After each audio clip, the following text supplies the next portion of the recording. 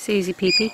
That little squeak might not sound like much to you, but to a bonobo mother, it carries a lot of meaning. Exactly how it does that is a question researchers are asking, and the answers could shed more light on the evolution of language. It all comes down to a concept called functional flexibility, one of language's basic building blocks. The researchers define it as an individual's capacity to produce signals that are detached from a predetermined function to express different psychological and affective states in a range of situations.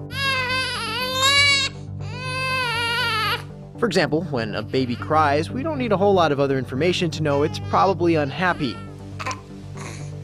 But other baby noises may communicate different meanings in different situations despite sounding the same. Now, bonobos are putting into question the idea that functional flexibility is exclusively human. Whereas most animals make noises that have one fixed function, like a squirrel's alarm call,